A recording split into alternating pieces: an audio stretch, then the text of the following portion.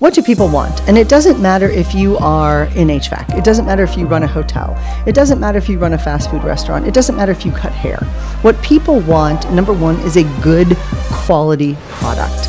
They want their interactions, number two, with people to be pleasant. Mm-hmm. They want the process and the procedures to be easy, and they respond to incentives. Like, make it easy for make people easy. to work with you. Welcome to Power Women of the Trades podcast. This show is all about breaking barriers and changing the game. Our guests will feature some of today's most successful female entrepreneurs and other advocates of our industry as well. Because if there's one thing we know for sure, female led entrepreneurship drives change on multiple levels. We want to empower women in the trade industry like you so you can maximize your potential, stay balanced, achieve long term success, and claim ownership over your life let's get started. Welcome to Power Women of the Trades podcast. We are in Jacksonville, Florida at the Women of HVACR conference. Uh, this is Cassie. Leslie is not with us today, but I am so excited. Somehow we snagged this guest on our show. She was one of the keynote speakers at this event. Her name is Mary Kelly, and I told her I had to be really honest. I missed her keynote because I was recording. Um, and so now I get a fresh experience. So I'm excited. So, Mary, who are you? How are you? Tell us all the things. I'm great. My name is Mary Kelly, and I get to do the most amazing thing ever, which is to talk to people and help them with their leadership challenges, their business challenges, their productivity issues.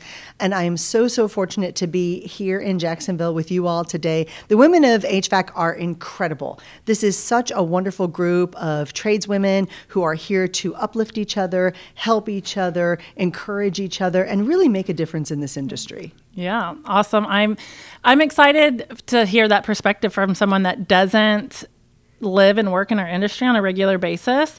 Um, but you know, you you were brought in as a speaker because of your strong leadership, your um, strong people skills. I can tell already. I've talked to you for five minutes, and I already know all the things. Like I can just tell that you are a a woman that most should aspire to be because you command a room and you are very um, just like again didn't see your keynote or hear your keynote um, but from that perspective so far you command a room and so generous we brought you in here but we hadn't ate yet so we were shoveling in food and she said i'm here to serve you and i was like what?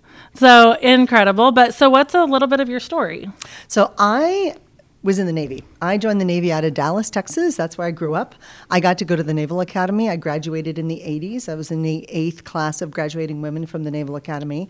And then I went on to have another 21 year career in the Navy. 17 years of that was in Asia. So I'm used to dealing with multicultural teams and multicultural countries, dealing with all kinds of different people. I feel so fortunate that I got that experience. I started out as an intelligence officer and then transitioned into, into logistics. So I started my career um, looking for Russian submarines and then looking for other nations' submarines mm. and then looking for the Republican Guard. The first Gulf War had broken out. And so then I was looking for the Republican Guard as we were tracking them because it mm-hmm. was war. And then the second Gulf War, pretty much the same thing. And then I transitioned into doing some counterterrorism work, which was very interesting, unlike what a lot of people do. You don't really think about that. You know, when you're in fourth grade, you don't think, oh, counterterrorism, I want to do that. You know, that's not really one of those things on people. List. Yeah, it wasn't on the list.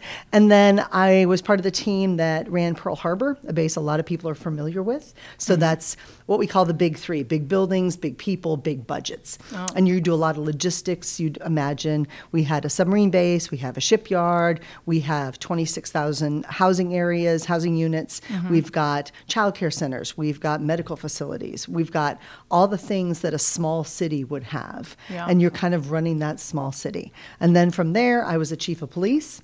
And then from that, I went to run the Navy's largest pay and personnel office. So that was really good.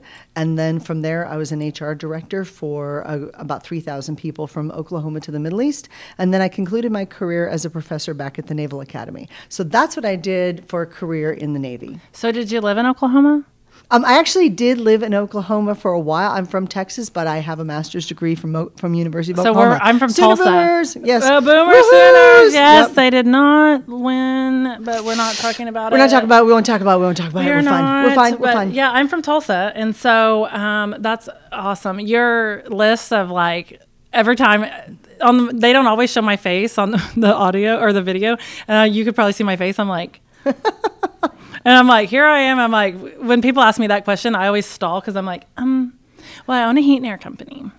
And, you know, but there's like so many things that you just immediately, I think, like we forget that we do, that we don't always give ourselves credit for. And I think that's beautiful to just like paint your entire story of all the things that you've done. And, you know, even not having physical trade experience, you've had boots on the ground, literally. Boots on the ground. We have to be very tactical. So think about a ship in the middle of the ocean. Something breaks. You can't call you. You got to figure out a way to fix it.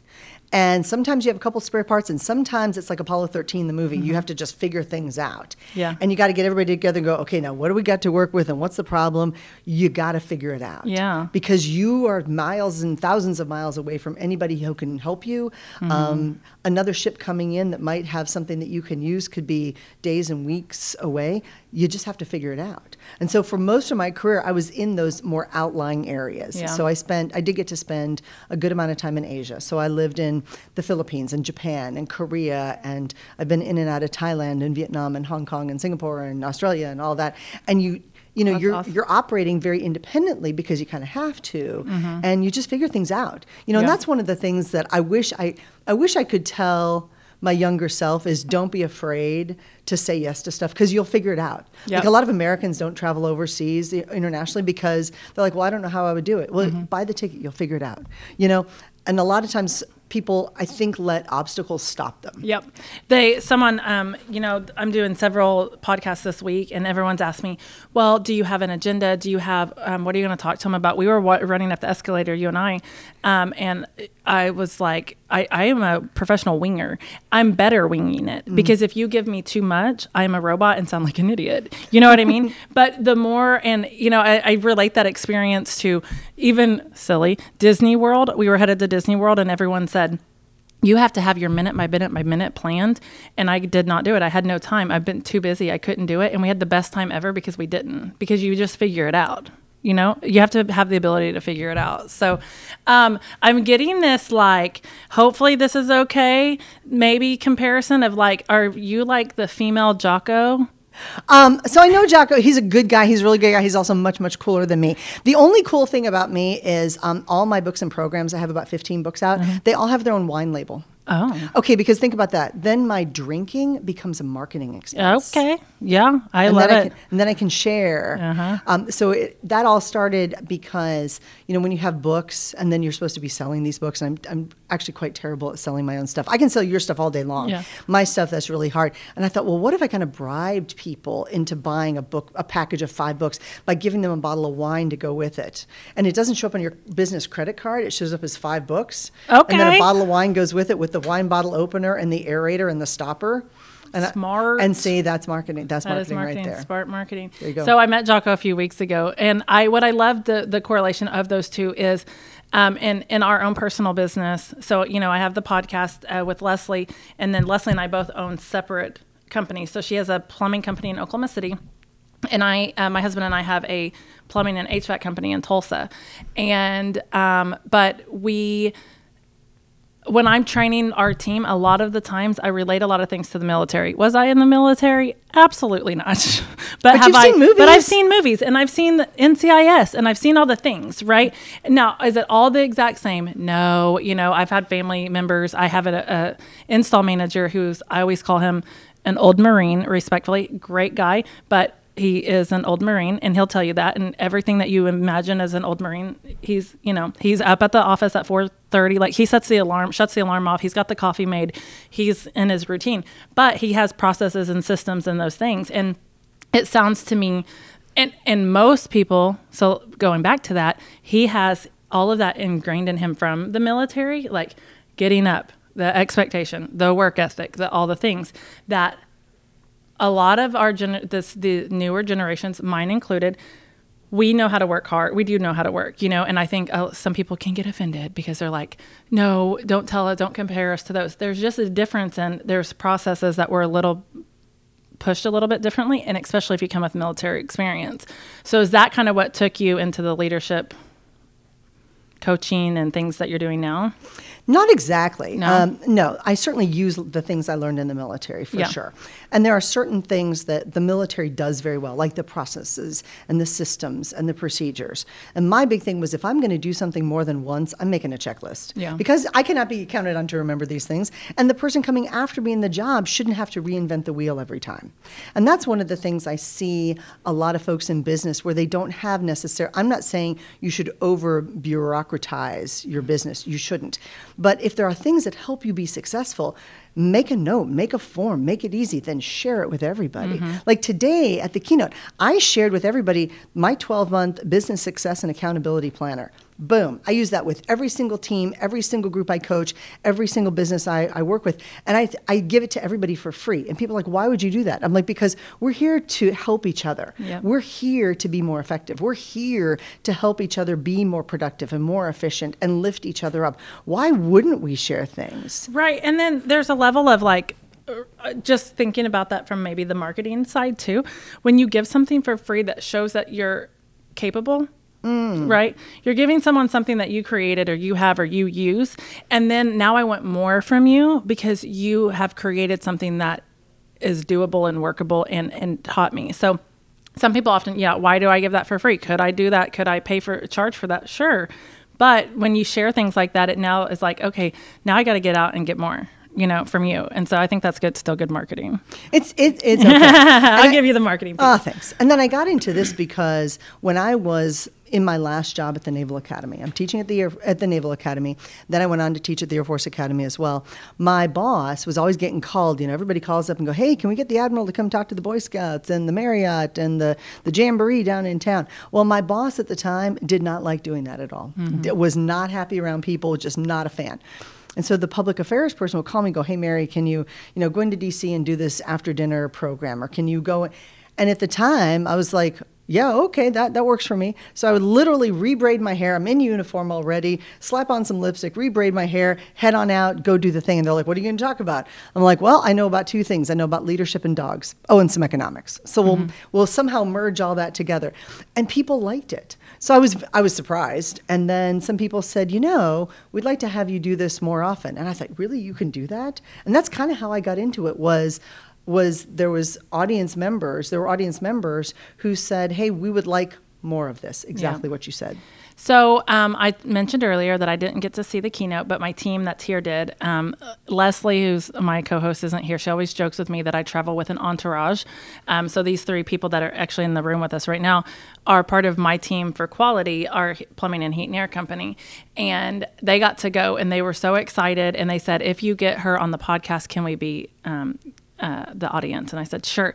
But one of the things that they were super um, like wrote down so excited about was the four things what do people want right that's what i took from it So, what do people want? And it doesn't matter if you are in HVAC. It doesn't matter if you run a hotel. It doesn't matter if you run a fast food restaurant. It doesn't matter if you cut hair. What people want, number one, is a good quality product. They want their interactions, number two, with people to be pleasant. Mm-hmm. They want the process and the procedures to be easy. And they respond to incentives, those four things. So, so a good quality product, pleasant interaction, easy process, incentives. And by incentives, I mean tell us when you're going to show up. Like mm-hmm. don't give me a 12-hour window, a 2-hour window works better. Make the process easy. Can you pay by can you pay by credit card? Oh no, we only take cash in coins on Tuesdays. You're right. In $2 bills. Like make it easy for Make people to work with you. Make it easy for people to buy from you. Make it easy for people to contact you. There's nothing more frustrating than you've got a phone number on your website and it doesn't work or it's disconnected or goes to voicemail and you don't get a call back. Or you can't three text days. to it. And you can't text to it. Yeah, You're like, that's a big "Seriously?" deal. Yeah, stop doing stop Yeah, doing that. Stop yeah. Mm-hmm. giving us numbers that you can't text to. Because in the service industry, I need you when I am the most vulnerable. Mm-hmm. And yes, you've got all the great marketing, all the great product differentiation. Maybe your prices are better, maybe your service is better. But when my water he- heater breaks and I got water in my house, I'm going to go with the person who's most responsive. Yep. You know, that's that product differentiation. So make it easy for me to be the person I'm going to buy from. I always say um, to our tell our team that nobody calls us for a beer. No one's calling and like, hey, you want to come hang out? I want to like meet me at the bar. We'll have a drink first or whatever. No one's calling for that. They're calling because something's broke. They're worried about how it's they're going to fix it. Um, can they afford to fix it? And how fast can you be here to fix it? Right. So That's it. That's the same thing. And so it's just like make it easy. I always joke too when people are like, can they cash up? I'm like, I take all the money. You know, but however they want, we'll figure it out and get Oh, it into I, the books. I've been paid in random gift cards. I don't care. Like Yeah. I did work for a strip mall, and they were like, "How do we pay you?" I'm like, uh, I, I was being funny. I was like, "Random gift cards work," and that's kind of how I got paid. Like everybody kind of chipped Mm-hmm. in gift cards, and I got to tell you, that was the funniest Christmas gift thing ever. Like all my family got these random gift cards. Yeah, and you're like, yeah, but it, it what you have to make it easy for the people. I love that. So I want to be respectful of your time because you did just jump in here with us, and we're so thankful that you did that. And I can't wait for our audience to hear this podcast. But one thing that you said that you had knowledge of is economics, and um, especially that seems like something maybe you might have some insight on for 2024 because we feel it feels weird right now. People are worried um, for a little bit in our industry. Some of the you know maybe influencers on our so, in social media was kind of painting the world's ending.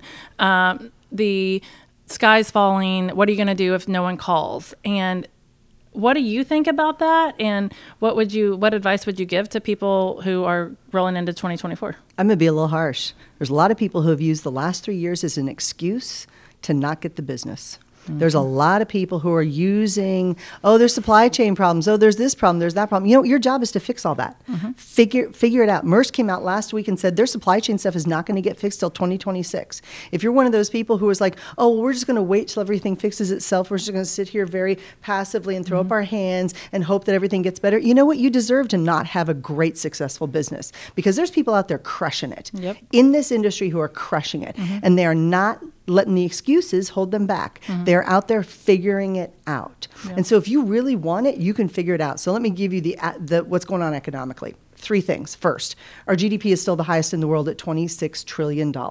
Highest in the world, except our national debt at $33.7 trillion is an absolute problem, and it's a legacy we are leaving our kids, and it's not right. We are overspending. Our government expenditures right now are crowding out private industry and private consumption, and that is going to be that is the problem that we've got right now.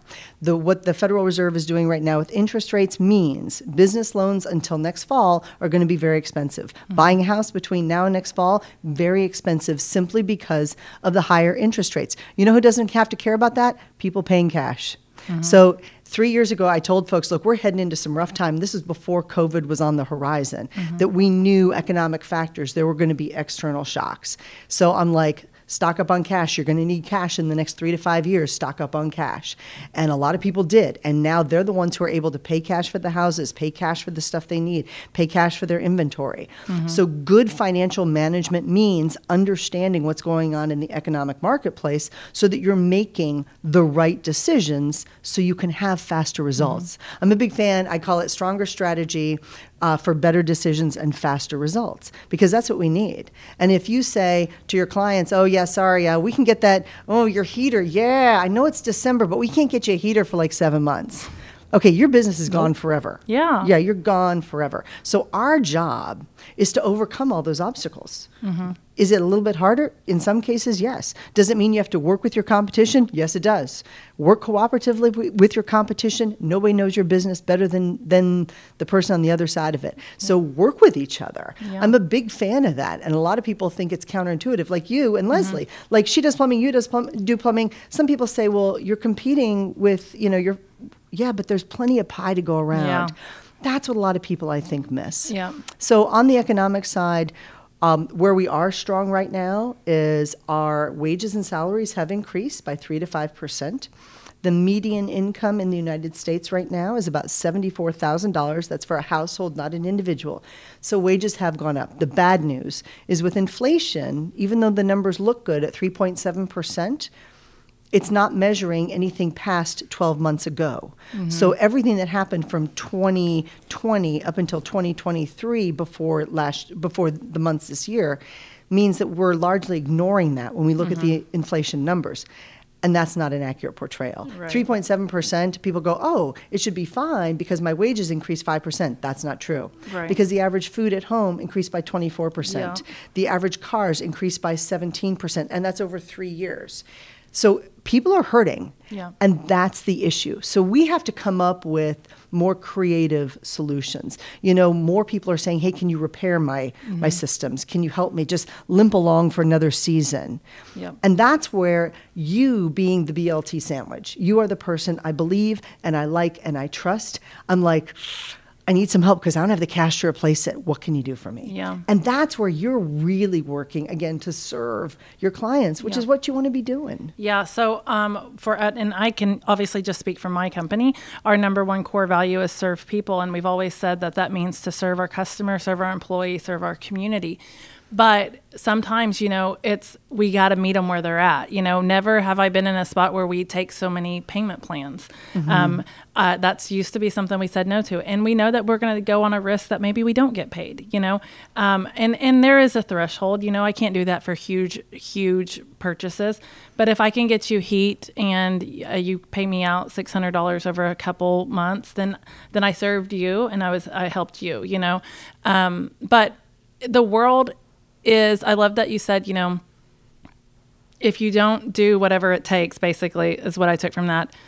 You don't deserve to be in business, right? Like you got to work hard. You got to quit. I get so frustrated in our industry when some of these, and I say influencers, understanding that I'm probably one of those influencers also, but I just try to stay positive with the outlook of what's to come because we've seen so many say, um, your, your credit or interest rates are too high, you know, basically, and it's almost been like this to help you sell the business. Let, let me let me buy your business because you're not going to make it as this little guy. And it's like that's not true. You know, just have an open mind, get in there, be willing to do the work. Don't make any excuses. You know, um, supply chain issues. We had a manufacturer that just could not get it together, and we had to fire them and go to a new one. That sucked. We were with the previous one for several years. They told us you're going to have to just deal with it. We couldn't, right? No. So we had to do whatever it takes to make sure we can continue on.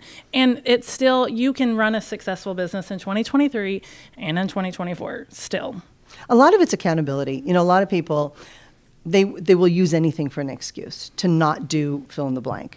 But if you're holding yourself accountable and you're really being honest, it's like, okay, uh, did I really give 110% today? Did I really do everything I could have? You know, do I need to be thinking of a creative solution? And you have to live with yourself. And mm-hmm. that to me is a self-respect issue. If you're not giving 110% every day, I guess you actually can't do that mathematically, but you get the idea that sometimes people just I don't understand when people say I don't I just don't want to work that hard. I'm like, well, at least if you're not going to work that long, at least work hard during the time you're at work. You know, I'm not asking everybody to work a 90-hour week. Mm-hmm. You let's say you're working a 40-hour week. Well, then actually work the 40-hour week. Right. Give those hours. Like give it but with your but with the right spirit. Be joyful Yeah. in the fact that you've got a great job. Mm-hmm. Be joyful in the fact that we get to serve other people. Be joyful in the fact that we get to give. When we're when we're successful, we that makes us better for our families, for our communities, for everybody around us. We get to pay our employees better. Why wouldn't we want to try hard? Mm-hmm. Why wouldn't we want to do our best every single day? And I found a lot of people through COVID, they kind of gave up on themselves Yeah. And that to me is the most hurtful Yeah. thing is they give up on themselves they make excuses and now nothing looks good to them because they've kind of worked themselves into what i call the pit of despair Yeah. you know that downward spiral starts and they lose their confidence because they're not doing confidence comes by doing it doesn't come by me going you go girl that's awesome yeah, Mm-hmm. Yeah. no it comes because you got out there and you did it Yeah. confidence comes when you're doing it and you, you're like oh i didn't think i could do that now i can do that okay i guess i can do that Yeah. And people lost confidence. Some people call it they lost their mojo. I don't know. I think they lost motivation. They lost, yeah. And, you know, something uh, uh, we try to remind our technicians and our office staff like, you are not just a technician. You are going into a house and potentially saving someone's life. Like, if you are paying attention and doing your checks the way you should, um, we had one just this last weekend that the fire department was called out. The carbon monoxide was blazing through there, and there was a small, uh, there was a gas leak through the heat exchange, or it was through the heat exchanger. Yada yada yada. Right we save help be a part of saving that family's life right you're not just an hvac technician we know that if the america shut off the water to um, America, within three weeks, 80% of Americans would be dead. And uh, mo- they say 100% of children. We have to have water. You are not just a plumber, you are doing big things and big work. And you're not just the girl that answers the phone. You're not just the girl that sells those things. But you have to like speak that back into yourself because, like you said, through COVID, it was like, how many times have, and I've said it myself, like, have we told a story and said, well, then COVID happened? Right. Because you're like, uh. But the reality is life is tough, you know, and there's always going to be some external shock that you can't control. And the big question is, are you equipped to deal with it? Are you doing your best every single day to make you a better person, a better leader, a better leader for your team, and doing the same thing for your people? Yeah. I don't expect everybody to know how to respond to every single situation in business, but I do expect them to be working on their skills every single day so that when something happens, they're better prepared for it. Right. You know, in the military, we don't prepare for every single possible contingency, but you prepare for a few, mm-hmm. hoping that those skills will translate into what you need at that time. Yeah. And you know, you think about COVID, okay, okay, great. Who else in the history of all mankind has ever been better equipped to deal with COVID? Us. Right. With the technology, with the tools, with all the facilities, with everything we know since the dawn of time. Mm-hmm. If we can't deal with COVID, who can? Right. You know, so we're so lucky. We're so lucky are to lucky. be living in these challenging Yeah, times. We are. And think about it too. Like it's uh, all of our ancestors ahead of us, they all had their own COVID. They all had their own something. They did. Right. And they overcame, and you're here because they overcame. So we just keep trucking on with them, right? Like as if they did. So, um, is there anything, you know, just like final words or advice that you would give to the women specifically in our industry that are trying to find their place um, or looking for that extra motivation to get out there and do it? Um, I love acronyms. I told the team this morning I love acronyms. And as we kind of wrap up, the acronym I like is PIVOT. I know that's very corny and we use it a lot during COVID, but it's very quickly, it is every single day remind yourself of your purpose, your why, why are you here, why are you here, and who do you serve. The I in PIVOT is be prepared to influence and inspire people every single day. Even if you're having a bad day, especially if you're having a bad day, you still got to help other people out. The V in pivot is the volatility and the vulnerability. Assess people where they are and step in to help where you can. The O is opportunities. There's always opportunities. If you choose not to see them, that's probably a bad business decision. Mm-hmm. And then the T is tools, tech, technology, and training. Make sure your people have what they need. Every single time they show up on a job site, they should have the right tools, the right training, and the right technology to do that job great. Pivot. Pivot. I love it. Pivot. She said, mic drop. well, Mary, we're so thankful to have you on the podcast. And it sounds like you had an amazing um, keynote that I now wish I had been to. Um, and I was even prepared to meet you. I was telling you before from my um, friend Susan Frew, who is also a speaker, and she was so excited for us to all hear you. So, again, thank you so much for being on our show. And if anyone wanted to reach out or can potentially connect with you, something that we could maybe put in our show notes, how could they do that? The website is productiveleaders.com forward slash podcast. And then they get all kinds of free stuff. Productiveleaders.com forward slash podcast. Awesome. Boom. Awesome. Well, thank you so much. Thank you. Have a great day. This has been Power Women of the Trades. Like what you hear so far? Leave us a review and Apple. And make sure to listen to our other episodes wherever you enjoy listening to your podcasts. Thanks for listening, and we'll catch you on the next one.